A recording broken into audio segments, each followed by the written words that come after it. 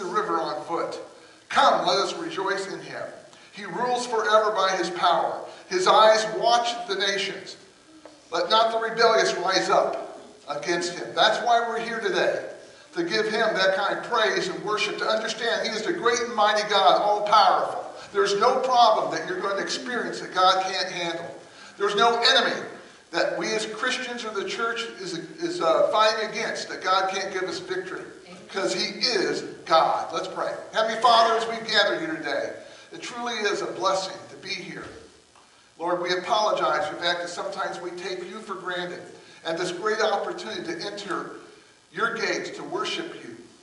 Lord, we thank you for all you've done. We ask you to forgive us for those things that we have done against you, including sometimes just forgetting about you in our everyday life. Lord, come and speak to us in a powerful way. Give us your presence in such a way that we are dramatically changed because of what you've told us today. In Jesus' name, amen. Go ahead and be seated. Good morning. How's everybody doing today? Is everybody good? Okay. Hey, we got someone new in church today for the first time. The Qualls' new baby is here, right? Congratulations on you guys having your baby. I can't remember the name. What is it again?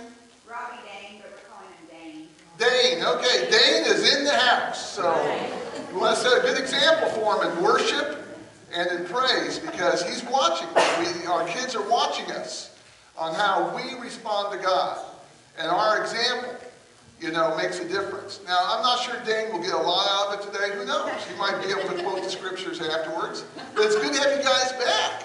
How you guys, how you been feeling, Catherine? You getting back to normal? Yeah, I feel better. I'm tired, but that's... You're going to be tired until they for go the next 18 years. Yeah, for the next 18 years. That's right. That's right. We've all been there before. Hey, it's good to have you here today. What is today? Sunday. Sunday. Very good. No one said Super Bowl Sunday. I'm glad. I'm, I'm glad to hear that. I don't really have a you know a, favorite team uh, because the Chiefs didn't make it. All I pray for is the Rams lose because they left St. Louis. So, uh, I have an attitude. I know God teaches forgiveness, but I'm still struggling with forgiveness for the Rams leaving us in St. Louis after we built them a new stadium. Hey, it's good to have you here today. If you're a guest, we want to especially welcome you. Uh, in your bulletin is a opportunity to, for us to get to know you called the Connect card. That's right, my wife is demonstrating kind of the of white. there we go. And we'd like you to fill this out so we can have a record of being here today, get to know you a little bit better. And if there's a way we can serve you better, maybe you have a prayer request or a need, mark it on that card so we can be praying for you. If you'd like to get together with me, mark your name and address, telephone number, I'll call you, we'll get together if I can help you with anything going on in your life. That's why I'm here.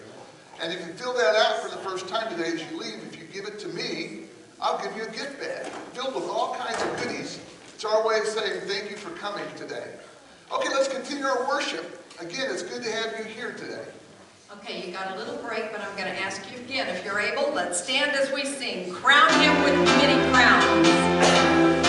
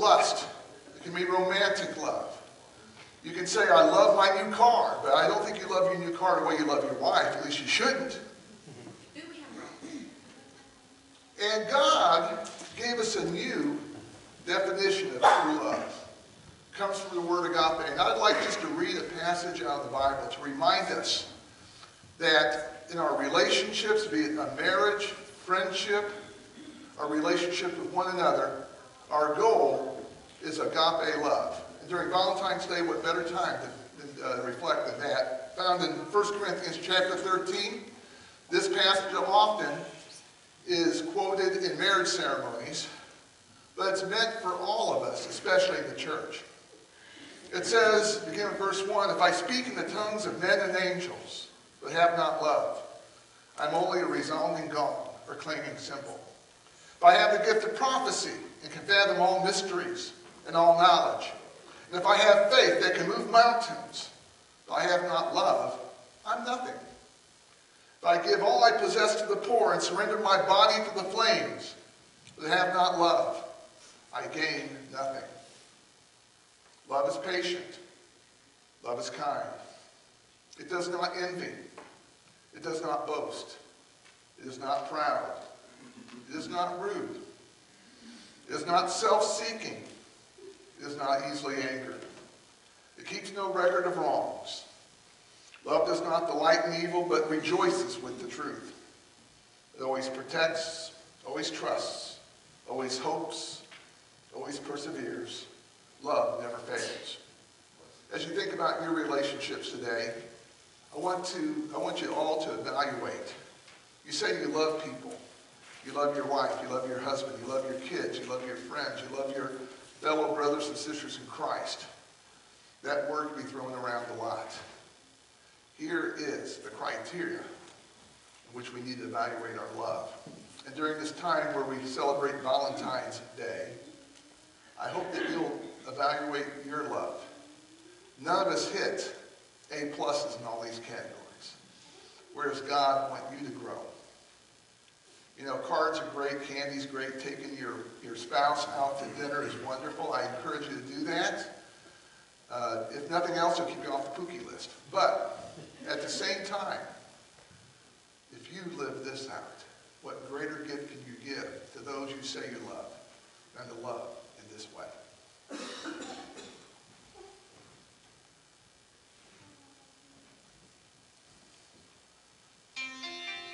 Peter's statement of faith, you are the Christ, the Son of the living God. And Jesus said, tell you you're Peter, and on this rock I will build my church.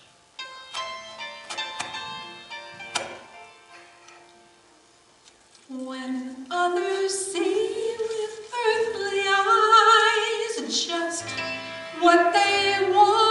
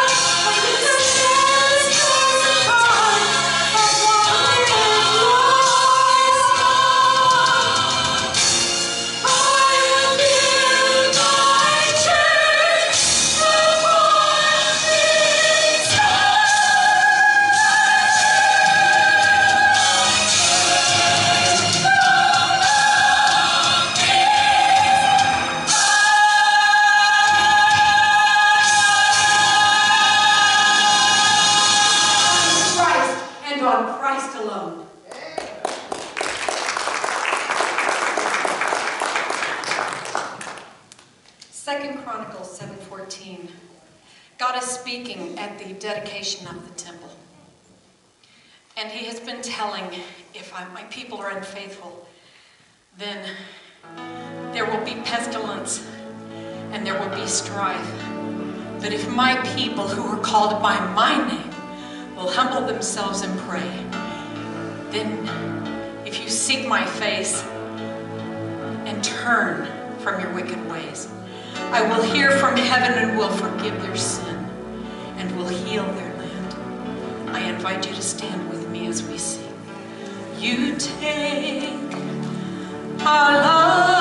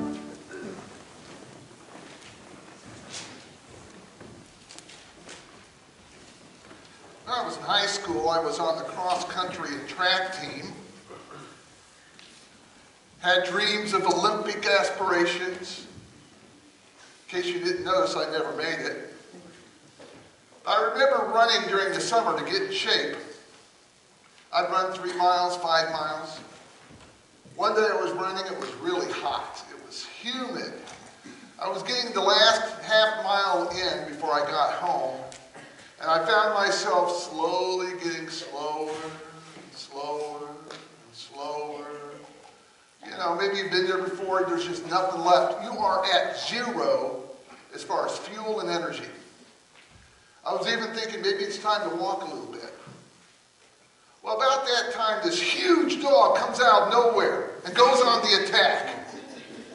And to my utter surprise, I broke the world's record for the next half mile. I had never run so fast in my life. Where did that come from? I don't know. It was fear of the dog that caused me to go in hyperdrive. And when I got home, I just fell on my face, exhausted. As I look back, that big dog wasn't near as big as I thought it was. As it nipped at my heels, it was really just a medium-sized thing. But my fear made it bigger than it really was. Well, we're facing with the forces of Satan with something I call the hounds of hell. The hounds of hell are on the attack. Those are the demons that God's working.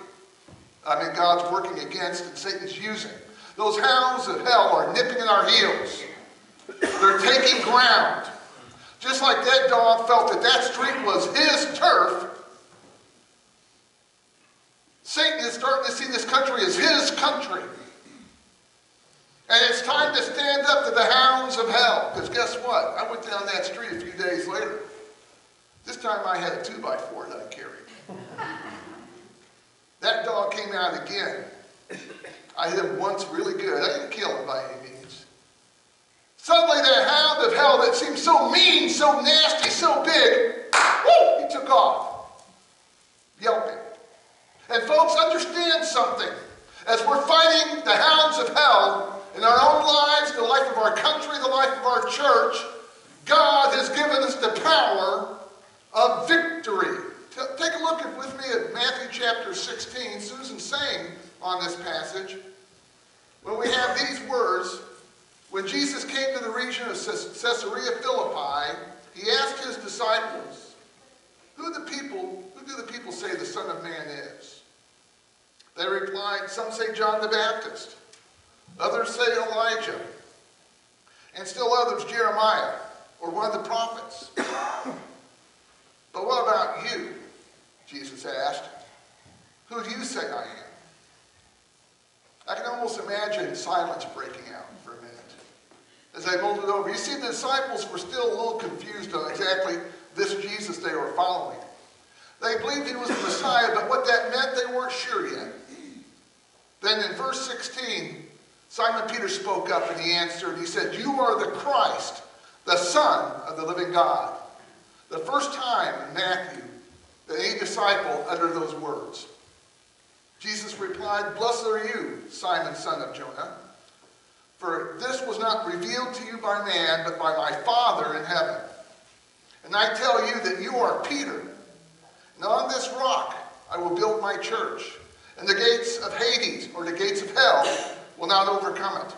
And I will give you the keys of the kingdom of heaven. Whatever you bind on earth will be bound in heaven, and whatever you loose on earth will be loosed in heaven. What we have is the most powerful statement ever uttered to this point in the Bible. You are the Christ, the Son of the living God. And the days we gather together, we need to understand that that's why we're here. This church needs to be built on that confession as Christ, the Son of the living God. This shows that Peter had personal faith in Jesus Christ. It's not about what we do for God that we should do for God out of gratitude.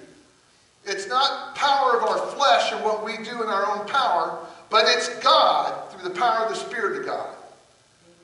And understand something, as people are trying to search for God, no matter how much they search for Him, it's He that finds you. You see, Christ is not just one good way to heaven. Christ is not the best way to heaven. Christ is the only way to heaven. God, Christ is not a good answer to our problems. He's not the best answer to our problems. He is the only answer to our problems. And because of Peter's saving faith, he was blessed by Jesus in a special way. Jesus had planned Peter for leadership of the disciples. Why? Because Peter was hearing God. Not because he was a better person. We've seen Peter fail. He failed God over and over again, put his foot in his mouth. I always like to say that I really can relate to Peter because it's me. But one thing Peter was sure of is who Jesus Christ was. And God blessed him for it. Matter of fact, he blessed him so much, he said, and you are Peter. Now, that term, that name hadn't been used much at this point. He was telling the disciples, here is the man, the rock of his confession. That's why I'm going to use him. He was actually the original Rocky, okay? So next time you think of Peter, think of Rocky, okay? And Jesus would love to be able to call all of us Peter. But he can't. Because though we may utter the words, you are the Christ, the Son of the living God, too often we don't live that which we speak. We don't really believe that which we speak. And thus we can't be called Peter. Now, Peter failed. And I want to tell you right now is if you stand up and speak out and proclaim that confession who Christ is, that doesn't mean you're going to have a perfect track record after that. You are probably going to fail God more than once. But one thing about Peter, he got out there and he made it happen. He got out of that boat. He tried to walk on the water. He sank, but he's the only one that got out of the boat. During the day of Pentecost, it was Peter who got up and spoke out bravely, boldly, courageously among thousands of people, which 3,000 received Christ that day. Almost in the shadow of the temple. The very enemies of Christ were right there. But he boldly stood up and spoke out the power of God. What was Peter? He was willing. He was willing to speak out and practice that which God called him to practice. We all should be a Peter. How are you doing in that area? But it goes on and say, you are Peter. It goes on to say, Jesus says, and upon this rock I will build my church. Now there's been a lot of disagreement on what that exactly means. Our Roman Catholic friends argue that the rock that they're talking about is Peter himself. He was the first pope. Thus, it was on Peter, the man, that God built the church. Well, I don't agree with that. And obviously you don't either if you're here rather than the Roman Catholic Church down the road. Them, but I don't agree with that. Who is, or what is the rock that Jesus is talking about? Well, there are two different interpretations that I think could be possible. One is the rock is Jesus himself. Okay? Upon this rock I will build my church. Me. The other interpretation that I prefer is Peter's confession of faith is the rock that will build the church of Christ. You see, it's not our programs that will build the church. It's not our innovation that will build the church. It's not our own personal efforts that will build the church of God. It is the power of our belief in Jesus Christ. And when we say that He is the, the Christ, the Son of the living God, we will live it as Lord. And then He will empower us to do His will, His way.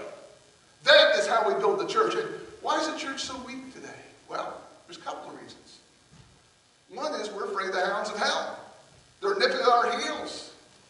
We're hiding in our buildings because the hounds of hell are out there barking at us, wanting to devour us. But another reason is we, for too long, have tried to build on ourselves, on our own agendas, in our own power.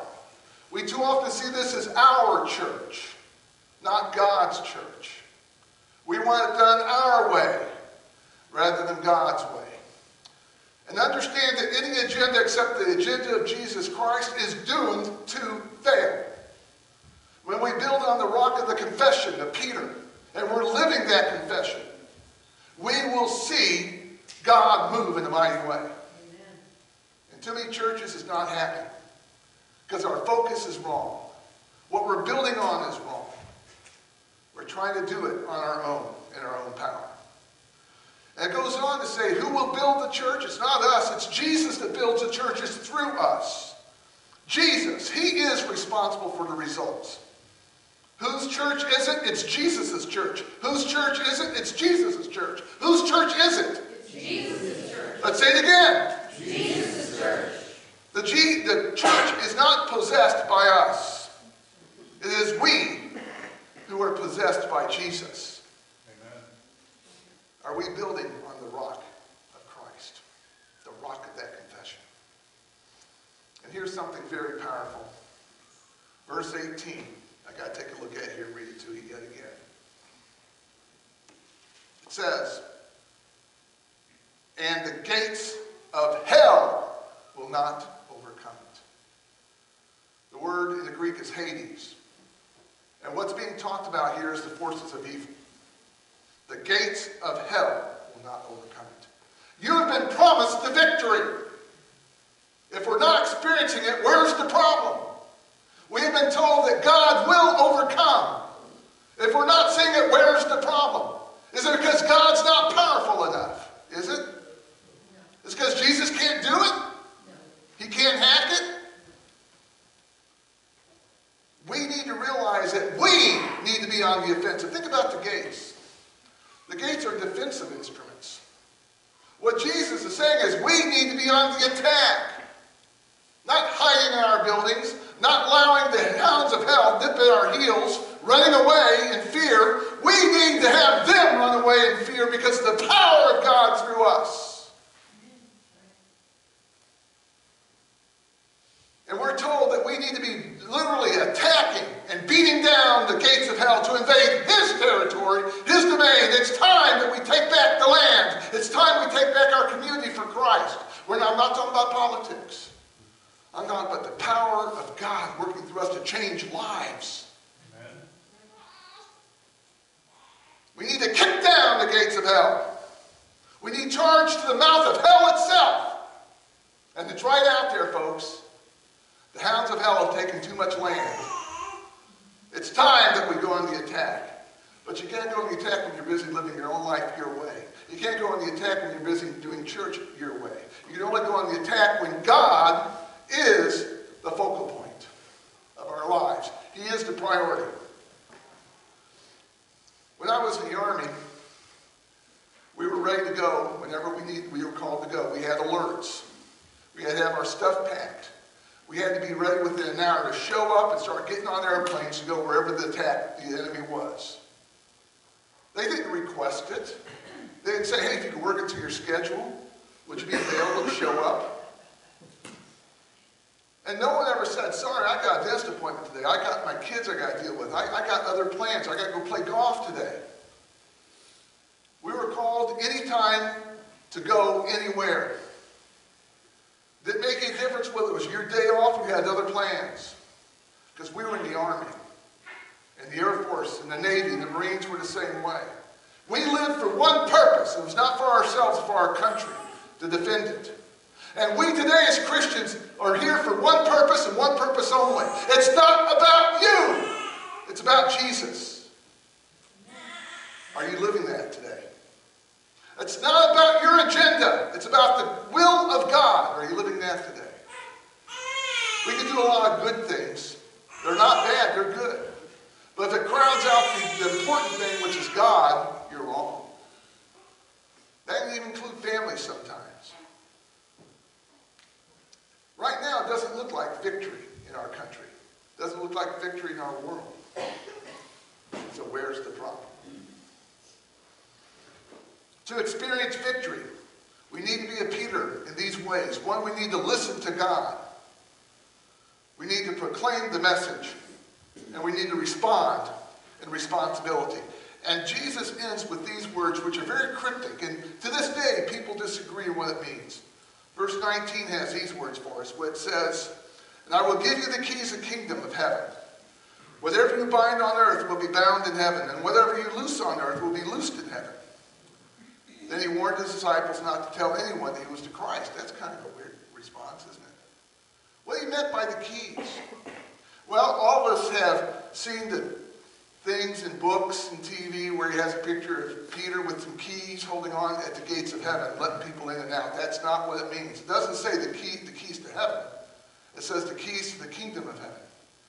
The kingdom of heaven is here today. We're a part of that kingdom of God, right here in this world. So what does it, what's meant by the keys? Well, the keys are the authority, responsibility, and results of our work for God, to reach those for Christ, to live a godly life. We hold the keys by our actions to make a difference in people's lives. We have that authority, we have that responsibility, and then God will see the results if we use the keys the way we should. Now, what's interesting is the Greek is a little different than the English because there's a Greek tense that we don't have in English language called the Greek uh, future imperfect periphrastic. You don't need to remember that, you will not be quizzed. And what it means is this it says, whatever you bind in earth will already have been bound in heaven. That's what means literally the Greek. So what's that mean? It means that we, we need to work in the will of God.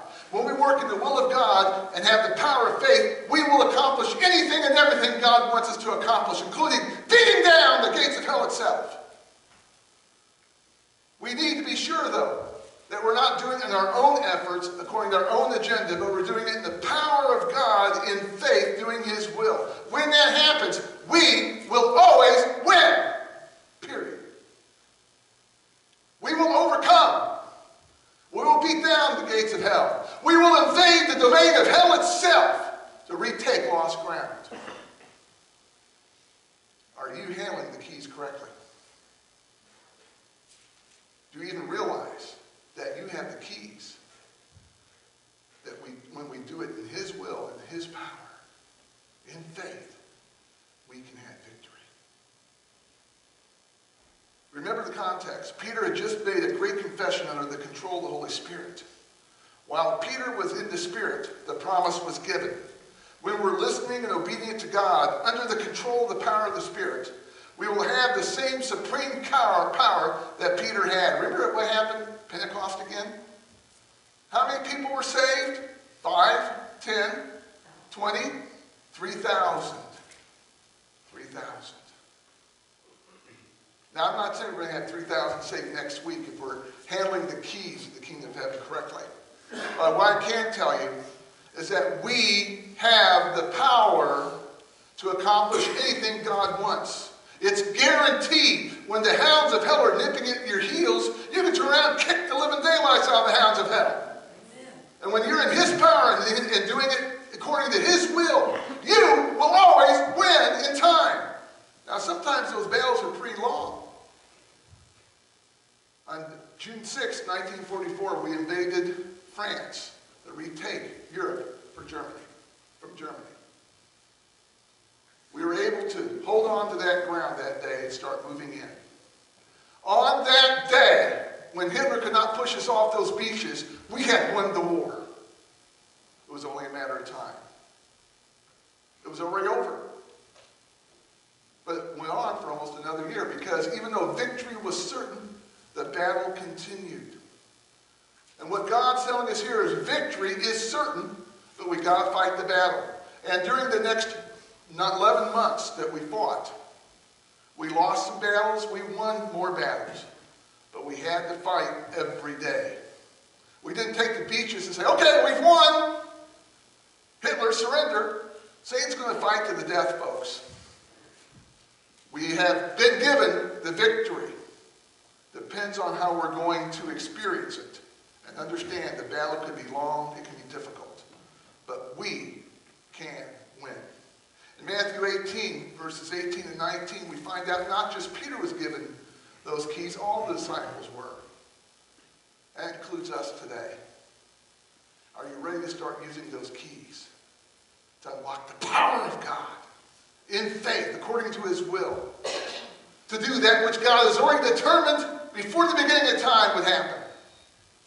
To change this world. Not politically, not socially, but spiritually. The longer I do this job, the less I have any kind of faith in what happens in Washington, D.C. or Jefferson City. I'm involved politically. That's not the answer.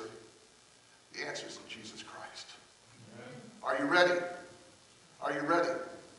Are you ready? Now we turn to a different part of the service, and that is the Lord's Supper. And the reason that we should be excited, we should be pumped about serving God with every fiber of our being, every minute of the day, is what Jesus did for us. I want to read the passage to you. Down again in the book of Matthew.